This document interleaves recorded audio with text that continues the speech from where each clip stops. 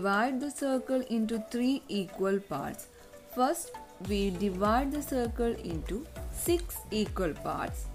Then from there, we are going to divide the circle into three equal parts. One set square is having two sides equal and the other set square all sides different. So to divide the circle into six equal parts we use the corner 60 degree. Okay, here we know this is 90 degree and the other two angles the small one is 30 and this is 60 degree. So to divide the circle into 6 equal parts, we use this corner. Then only we can divide it into 3 equal parts. So, take a compass and draw a circle.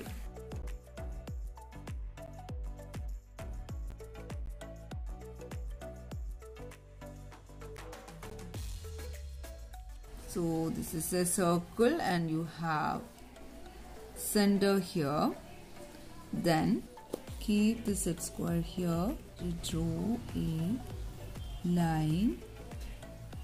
Okay. Then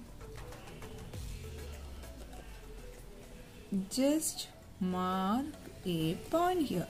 So here should be a gap. Okay. So here a point. Then keep the set square like this. It should be on the center. Then keep like this. Okay. Then mark a point here. Again keep the set square like this a point here. Then again.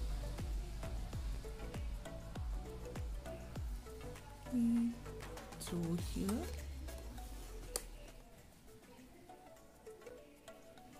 Do here. Okay.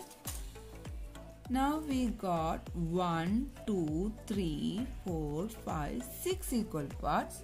We want to divide the circle into 3 equal parts so take this point then skip this one then join with this okay so here we can join this point with the center.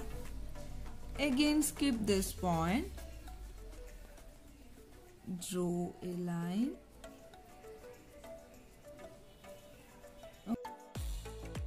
Now the circle is divided into three equal parts.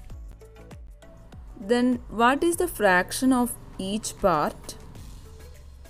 So you can see one part among three equal parts. So this is 1 by 3, here 1 by 3 and here also 1 by 3. That's all for today. Hope you all understood this class well. Thank you.